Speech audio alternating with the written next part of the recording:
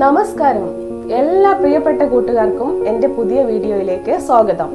ഞാൻ ഇന്നിവിടെ ചെയ്യുന്നത് പത്താം ക്ലാസ്സിലെ ജോഗ്രഫി ബുക്കിലെ ആദ്യത്തെ ചാപ്റ്ററാണ് സീസൺസ് ആൻഡ് ടൈം ഋതുഭേദങ്ങളും സമയവും.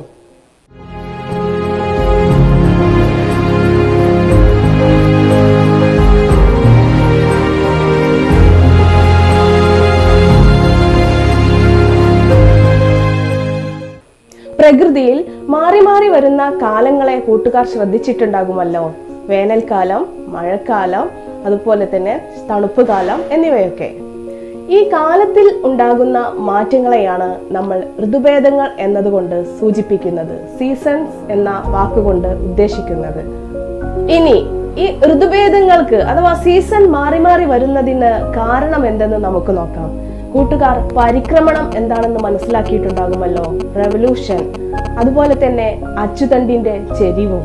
ദീർഘവൃത്താകൃതിയിലുള്ള സഞ്ചാരപഥത്തിലൂടെ അനലിപ്റ്റിക്കൽ ഓർബിറ്റ് ഭൂമി സൂര്യനെ വലം വെക്കുന്നതാണ് റെവല്യൂഷൻ അഥവാ പരിക്രമണം എന്നറിയപ്പെടുന്നത്. ഇതിനെ എടുക്കുന്ന കാലയളവ് എത്രയാണെന്ന് കൂട്ടുകാർക്കറിയാമോ? മുന്നൂറ്റി അറുപത്തി അഞ്ച് ദിവസം അഥവാ വൺ ഇയർ സീസൺസ് മാറി മാറി വരാനുള്ള ഒരു കാരണം ഇപ്പോൾ മനസ്സിലായല്ലോ. പരിക്രമണമാണ് അതായത് റെവല്യൂഷൻ മറ്റൊരു കാരണം അച്ചുതണ്ടിന്റെ ചെരിവാണ് ടിൽറ്റ് ഓഫ് ആക്സിസ് അച്ചുതണ്ടിന് പരിക്രമണ തലത്തിൽ അറുപത്തി ആറര ഡിഗ്രിയും ലംബ തലത്തിൽ കണക്കാക്കിയാൽ ഇരുപത്തിമൂന്നര ഡിഗ്രിയും ചെരിഞ്ഞാണ് ഇരിക്കുന്നത്. പരിക്രമണ വേളയിൽ ഉടനീളം ഭൂമി ഈ ചെരിവ് നിലനിർത്തുന്നു. ഇതിനെ അച്ചുതണ്ടിന്റെ സമാന്തരത എന്ന് വിളിക്കുന്നു. പാരലിസ് പാരലിസം ഓഫ് എർത്ത് ആക്സിസ് അച്ചുതണ്ടിന്റെ ഈ ചെരിവും ഭൂമിയുടെ പരിക്രമണവുമാണ്. അതുമൂലം സൗരോർജ ലഭ്യതയിലുള്ള ഏറ്റക്കുറിച്ചലുകളാണ് വ്യത്യസ്ത ഋതുഭേദങ്ങൾക്ക് കാരണമാകുന്നത്. ഇപ്പോൾ വ്യത്യസ്ത ഋതുഭേദങ്ങളുടെ രണ്ട് കാരണങ്ങൾ കൂട്ടുകാർ മനസ്സിലാക്കിയിട്ടുണ്ടാകുമല്ലോ. ഇനി നമുക്ക് ഏറ്റവും പ്രധാനപ്പെട്ട ഒരു ചോദ്യമായിട്ട് വരുന്നതാണ് ഈ പാഠഭാഗത്ത് നിന്നും. സമരാത്രങ്ങൾ. വേറൊരു പേര് വിഷുവങ്ങൾ. എക്കിനോക്സസ് ആണ് ഇതിന്റെ ഇംഗ്ലീഷ് ടേം മാർച്ച് ഇരുപത്തിയൊന്ന് സെപ്റ്റംബർ ഇരുപത്തിമൂന്ന് ഈ ദിവസങ്ങളിൽ സൂര്യൻ ഭൂമധ്യരേഖയ്ക്ക് നേർമുകളിൽ വരുന്നു. ഈ സമയത്ത് ഉത്തരാർദ്ധഗോളത്തിലും ദക്ഷിണാർദ്ധഗോളത്തിലും സൂര്യപ്രകാശം തുല്യ അളവിൽ ലഭിക്കുന്നു. അതുപോലെ തന്നെ ഈ ദിവസങ്ങളിൽ രാത്രിയുടെയും പകലിന്റെയും ദൈർഘ്യം ഉത്തരാർദ്ധഗോളത്തിലും ദക്ഷിണാർദ്ധഗോളത്തിലും തുല്യമായിരിക്കും. അതുകൊണ്ടാണ് ഈ ദിവസങ്ങൾ സമരാത്ര ദിനങ്ങൾ അഥവാ വിഷുവങ്ങൾ ഓർ എക്കിനോക്സസ് എന്ന പേരിൽ അറിയപ്പെടുന്നത്. ഞാൻ പറഞ്ഞ ആ ഡേറ്റ് ആ ദിനങ്ങൾ കൂട്ടുകാർ പ്രത്യേകിച്ച് ഓർമ്മിച്ച് വെക്കണം. മാർച്ച് ഇരുപത്തിയൊന്ന് സെപ്റ്റംബർ ഇരുപത്തിമൂന്ന് സമരാത്ര ദിനങ്ങൾ. അടുത്തതായി നാം പഠിക്കേണ്ട ഒന്നാണ് ഗ്രീഷ്മ അയനാന്ത ദിനം അഥവാ സമ്മർ സോൾസ്റ്റൈസ് മാർച്ച് ഇരുപത്തി ഒന്ന് മുതൽ ജൂൺ ഇരുപത്തി ഒന്ന് വരെയുള്ള ദിവസങ്ങളിൽ സൂര്യൻ ഭൂമധ്യരേഖയുടെ നേർമുകളിൽ നിന്നും ഉത്തരാർദ്ധഗോളത്തിലേക്ക് നീങ്ങുന്നു. എന്നിട്ട് ജൂൺ ഇരുപത്തി ഒന്നിന് ഉത്തരാർദ്ധഗോളത്തിന്റെ നേർമുകളിലായിരിക്കും സൂര്യന്റെ ആപേക്ഷിക സ്ഥാനം. ഇതാണ് ഗ്രീഷ്മ അയനാന്ത ദിനം അഥവാ സമ്മർ സോൾസ്റ്റേസ് ദിവസം ഓർമ്മിക്കുമല്ലോ ജൂൺ ഇരുപത്തി ഒന്ന് ഉത്തരാർദ്ധഗോളത്തിൽ ദൈർഘ്യമുള്ള പകലും ദക്ഷിണാർദ്ധഗോളത്തിൽ ദൈർഘ്യമുള്ള രാത്രിയും അനുഭവപ്പെടുന്നു.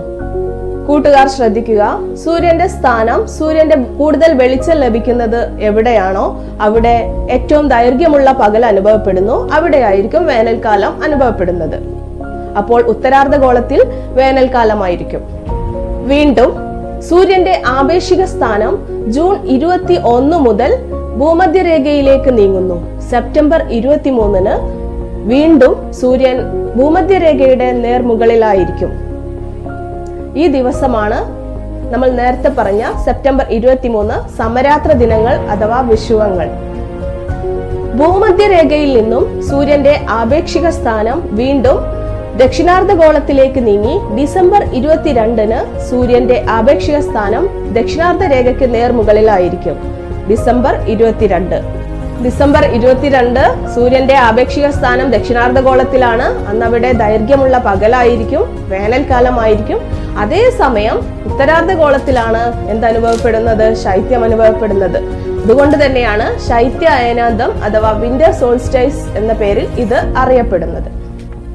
അപ്പോൾ കൂട്ടുകാരെ ഞാൻ ഇവിടെ കുറച്ച് ഡേറ്റുകൾ പറഞ്ഞു. അതുമായി ബന്ധപ്പെട്ട കുറച്ച് വാക്കുകളും. ഒന്ന് ശ്രദ്ധിക്കുക സമരാത്ര ദിനങ്ങൾ. രാത്രിയും പകലും തുല്യമായിരിക്കും. മാർച്ച് ഇരുപത്തിയൊന്ന് സെപ്റ്റംബർ ഇരുപത്തിമൂന്ന്.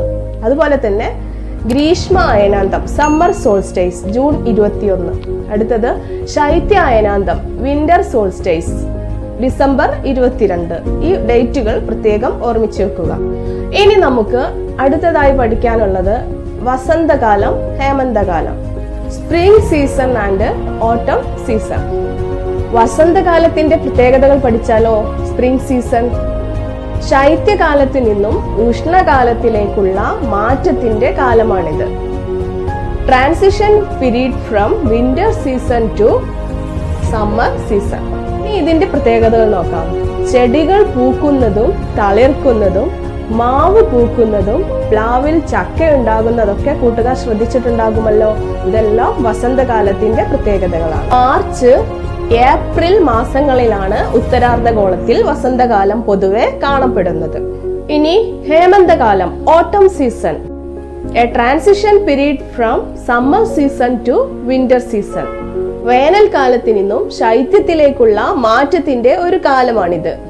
മരങ്ങൾ ഇല പൊഴിക്കുന്ന ഒരു കാലം കൂടിയാണിത്. കൂട്ടുകാർ കണ്ടിട്ടുണ്ടാകുമല്ലോ മരങ്ങൾ ഇല പൊഴിക്കുന്നത്.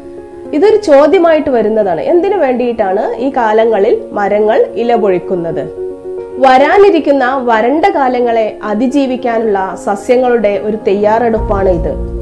പൊതുവെ ഒക്ടോബർ നവംബർ മാസങ്ങളിലാണ് ഉത്തരാർദ്ധഗോളത്തിൽ ഹേമന്തകാലം അഥവാ ഓട്ടം സീസൺ അനുഭവപ്പെടുന്നത്. ഇത്രയും സമയം ഞാൻ സീസൺസുമായി ബന്ധപ്പെട്ട പ്രധാനപ്പെട്ട കാര്യങ്ങളാണ് പറഞ്ഞത്. ഏറ്റവും പ്രധാനപ്പെട്ടത് വിഷുവങ്ങൾ അഥവാ സമരാത്ര ദിനങ്ങൾ ഓർ എക്കിനോക്സസ് സമ്മർ സോൾസ്റ്റൈസ് ഗ്രീഷ്മ അയനാന്തം വിന്റർ സോൾസ്റ്റൈസ് ശൈത്യ അയനാന്തം അതുപോലെ തന്നെ വസന്തകാലം ഹേമന്തകാലം. കൂട്ടുകാർ പഠിക്കുക. അതിന്റെ എല്ലാം പ്രത്യേകതകൾ പ്രത്യേകിച്ച് എക്സാമിന് ഏറ്റവും ഇമ്പോർട്ടന്റ് ആയിട്ടുള്ള ഒരു ഏരിയയാണ് നന്നായിട്ട് പഠിക്കുക. ഏറ്റവും കൂടുതൽ സൂര്യപ്രകാശം ലഭിക്കുന്നതും ഉഷ്ണം അനുഭവപ്പെടുന്നതും ഭൂമധ്യരേഖയിലാണെന്നും അതുപോലെ ധ്രുവപ്രദേശങ്ങളിൽ ആറുമാസം പകലും ആറുമാസം രാത്രിയുമാണെന്നും നിങ്ങൾക്കറിയാം. പക്ഷേ ഋതുവ്യത്യാസങ്ങൾ ഏറ്റവും കൂടുതൽ അനുഭവപ്പെടുന്നത് എവിടെയായിരിക്കും? അത് മിതോഷ്ണ മേഖലയിലാണ്. അടുത്തതായി ഭ്രമണവും സമയവും. ഇനി നമുക്ക് സമയനിർണയത്തെ കുറിച്ച് പഠിക്കാം. നേരത്തെ നമ്മൾ സീസൺ പഠിച്ചപ്പോൾ അതിന് പ്രധാനപ്പെട്ട കാരണം പരിക്രമണം അഥവാ റെവല്യൂഷൻ അതുപോലെ തന്നെ അച്ചുതണ്ടിന്റെ ചെരിവ് എന്നീ കാരണങ്ങളാണ് പഠിച്ചത്. ഇവിടെ നമ്മൾ സമയനിർണയത്തിന്റെ പ്രധാനപ്പെട്ട കാരണം റൊട്ടേഷൻ ആണ് എർത്ത് റൊട്ടേഷൻ അഥവാ ഭൂമിയുടെ ഭ്രമണം. ഭൂമി അതിന്റെ അച്ചുതണ്ടിൽ സ്വയം കറങ്ങുന്നതിനെയാണ് നാം ഭ്രമണം അഥവാ റൊട്ടേഷൻ എന്ന് പറയുന്നത്. എന്തൊക്കെയായിരിക്കും ഈ റൊട്ടേഷൻ മൂലം സംഭവിക്കുന്നത്?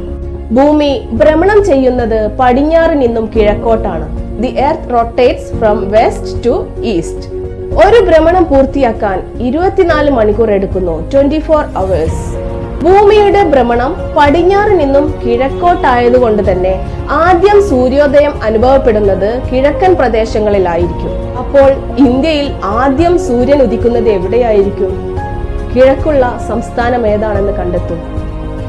അരുണാചൽ പ്രദേശ് കൂട്ടുകാർ കേട്ടിട്ടുണ്ടാകുമല്ലോ. അവിടെയായിരിക്കും ആദ്യം സൂര്യോദയം അനുഭവപ്പെടുന്നത്. അപ്പോൾ ഏറ്റവും അവസാനം ഏറ്റവും പടിഞ്ഞാറുള്ള സ്ഥലം സ്റ്റേറ്റ് ഏതാണ് ഇന്ത്യയുടെ? ഗുജറാത്ത്. ഇനി നമുക്ക് ഭ്രമണം മൂലം അഥവാ റൊട്ടേഷൻ മൂലം എങ്ങനെയാണ് സമയനിർണയം നടത്തുന്നതെന്ന് നോക്കാം. പഴയ കാലത്ത് ആളുകളൊക്കെ സൂര്യൻ ഉച്ചസ്ഥായിൽ വരുന്ന സമയം നോക്കി നിഴലിനെ ആധാരമാക്കിയാണ് സമയം കണ്ടെത്തിയിരുന്നത്. അഥവാ സൂര്യൻ നമ്മുടെ തലയ്ക്ക് നേർമുകളിൽ വരുന്ന സമയം ഉച്ചയ്ക്ക് പന്ത്രണ്ട് മണി. ഓരോ സ്ഥലത്തിന്റെയും പ്രാദേശിക സമയം അഥവാ ലോക്കൽ ടൈം എന്നാണ് അറിയപ്പെടുന്നത്. അപ്പോൾ ഓരോ പ്രദേശത്തിന്റെയും ഒരു ലോക്കൽ ടൈം ഉണ്ടാകും. അത് സൂര്യൻ നമ്മുടെ തലയ്ക്ക് മുകളിൽ വരുന്ന ഏകദേശ സമയം ഉച്ചയ്ക്ക് പന്ത്രണ്ട് മണിയാണ്. പിൽക്കാലത്ത് സമയനിർണയം കൂടുതൽ ശാസ്ത്രീയവും കൃത്യവുമായി നടത്താൻ തുടങ്ങി.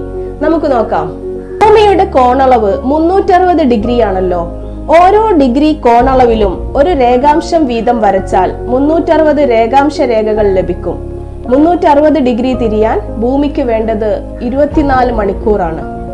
മുന്നൂറ്റി അറുപത് ഡിഗ്രി തിരിയാൻ ഭൂമി എടുക്കുന്നത് ഇരുപത്തിനാല് മണിക്കൂറാണ്. ഈ ഇരുപത്തിനാല് മണിക്കൂറിനെ മിനിറ്റിലേക്ക് മാറ്റിയാൽ ഇരുപത്തിനാല് ഇന്റു അറുപത് അഥവാ ആയിരത്തി നാനൂറ്റി നാൽപ്പത് മിനിറ്റ്. അതായത് മുന്നൂറ്റി അറുപത് ഡിഗ്രി തിരിയാൻ വേണ്ട സമയം ആയിരത്തി നാനൂറ്റി നാൽപ്പത് മിനിറ്റ്. മുന്നൂറ്റി അറുപത് ഡിഗ്രി തിരിയാൻ വേണ്ട സമയം ആയിരത്തി നാനൂറ്റി നാൽപ്പത് മിനിറ്റ്. അപ്പോൾ ഒരു ഡിഗ്രി രേഖാംശ പ്രദേശം തിരിയാൻ ഭൂമിക്ക് വേണ്ട സമയം ആയിരത്തി നാനൂറ്റി നാൽപ്പത് ബൈ മുന്നൂറ്റി അറുപത് അഥവാ നാല് മിനിറ്റ് ആണ് ശ്രദ്ധിക്കുക. ഒരു ഡിഗ്രി രേഖാംശ പ്രദേശം തിരിയാൻ ഭൂമി എടുക്കുന്ന സമയം നാല് മിനിറ്റ്. പതിനഞ്ച് ഡിഗ്രി രേഖാംശ പ്രദേശം തിരയുമ്പോൾ ഒരു മണിക്കൂർ സമയവ്യത്യാസം ഉണ്ടാകുന്നു അതായത് പതിനഞ്ച് ഡിഗ്രി തിരിയാൻ വേണ്ട എടുക്കുന്ന സമയം പതിനഞ്ച് ഇന്റു നാല് മിനിറ്റ് അഥവാ അറുപത് മിനിറ്റ് ഒരു മണിക്കൂറാണ്. പതിനഞ്ച് ഡിഗ്രി തിരിയാൻ ഒരു മണിക്കൂർ എടുക്കുന്നു. ഭൂമിയുടെ ഭ്രമണം പടിഞ്ഞാറ് നിന്നും കിഴക്കോട്ടായതിനാൽ സമയ കൂടുതൽ രേഖപ്പെടുത്തുന്നത് കിഴക്കും സമയക്കുറവ് രേഖപ്പെടുത്തുന്നത് പടിഞ്ഞാറുമായിരിക്കും. പതിനഞ്ച് ഡിഗ്രി തിരിയാൻ ഒരു മണിക്കൂർ എടുക്കുന്നത് കൊണ്ട് തന്നെ കിഴക്കോട്ട് തിരിയുമ്പോൾ ഓരോ പതിനഞ്ച് ഡിഗ്രിക്കും ഒരു മണിക്കൂർ കൂടുതലും പടിഞ്ഞാട്ട് തിരിയുമ്പോൾ ഓരോ പതിനഞ്ച് ഡിഗ്രിക്കും ഒരു മണിക്കൂർ കുറവും അടയാളപ്പെടുത്തുന്നു. ഇനി ഈ ഭാഗത്തു നിന്നും വരുന്ന പ്രധാനപ്പെട്ട ഒരു ചോദ്യമാണ് ഗ്രീനിച്ച് സമയം അഥവാ G M T Greenwich mean time. ഇത് പൂജ്യം ഡിഗ്രി രേഖാംശ രേഖ എന്നറിയപ്പെടുന്നു. ഇത് പൂജ്യം ഡിഗ്രി രേഖാംശ രേഖയാണ് ഇംഗ്ലണ്ടിലെ റോയൽ ബ്രിട്ടീഷ് ഒബ്സർവേറ്ററി സ്ഥിതി ചെയ്യുന്ന ഗ്രീനിച്ച് എന്ന സ്ഥലത്തൂടെ പാസ് ചെയ്യുന്നത് കൊണ്ടാണ് ഇതിന് ആ പേര് കിട്ടിയത്. ഈ രേഖയെ അടിസ്ഥാനമാക്കിയാണ് ലോകത്തുള്ള എല്ലാ സമയങ്ങളെയും ഒരുപോലെ കണക്കാക്കുന്നത് എന്നതുകൊണ്ട് തന്നെ ഇതിനെ പ്രൈം മെറിഡിയൻ എന്ന പേരിലും ഇത് അറിയപ്പെടുന്നു. ഗ്രീനിച്ച് രേഖയിലെ പ്രാദേശിക സമയം ഗ്രീനിച്ച് സമയം അഥവാ Greenwich mean time G M T എന്ന പേരിലാണ് അറിയപ്പെടുന്നത്. ഗ്രീനിച്ച് രേഖയെ അടിസ്ഥാനമാക്കി ഇരുപത്തിനാല് സമയമേഖലകളായി ലോകത്തുള്ള മുഴുവൻ സമയമേഖലകളെയും തിരിച്ചിരിക്കുന്നു. ഗ്രീനിച്ച് രേഖയെ അടിസ്ഥാനമാക്കി ഒരു മണിക്കൂർ വ്യത്യാസമുള്ള ഇരുപത്തിനാല് മേഖലകളായി ലോകത്തെ സമയമേഖലകളെ തിരിച്ചിരിക്കുന്നു. അടുത്തതായി സ്റ്റാൻഡേർഡ് ടൈം അഥവാ മാനക സമയം. ഇപ്പോൾ കൂട്ടുകാർക്ക് ഒരു കാര്യം മനസ്സിലായിട്ടുണ്ടാകും. ഓരോ രേഖാംശ രേഖയിലും അഥവാ ഓരോ രാജ്യങ്ങളിലും വ്യത്യസ്ത പ്രാദേശിക സമയമാണല്ലോ. ഈ സമയങ്ങളെ എങ്ങനെ ഒരുപോലെ കണക്കാക്കാം? ഇതിനു വേണ്ടിയിട്ടാണ് മാനക സമയം ഏർപ്പെടുത്തിയിരിക്കുന്നത്. ഇപ്പോൾ കൂട്ടുകാർക്ക് ഒരു കാര്യം മനസ്സിലായിട്ടുണ്ടാവുമല്ലോ. ഓരോ രേഖാംശ രേഖയിലും പ്രാദേശിക സമയം വ്യത്യസ്തമായിരിക്കും.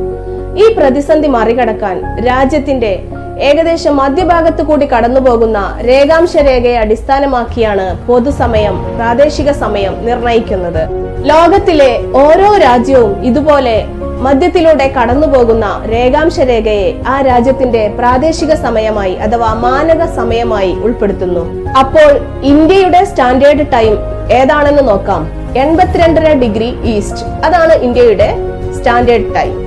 ഈ രേഖാംശ രേഖയെയാണ് ഇന്ത്യയുടെ മാനക രേഖാംശമായി കണക്കാക്കുന്നത്. ഈ രേഖാംശ രേഖയിലെ പ്രാദേശിക സമയത്തെയാണ് ഇന്ത്യയിലെ പൊതു സമയമായി അംഗീകരിച്ചിട്ടുള്ളത് ഇന്ത്യൻ സ്റ്റാൻഡേർഡ് ടൈം. ഇതും ഗ്രീനിച്ചിലെ സമയവും തമ്മിൽ അഞ്ചര മണിക്കൂർ വ്യത്യാസമുണ്ട്.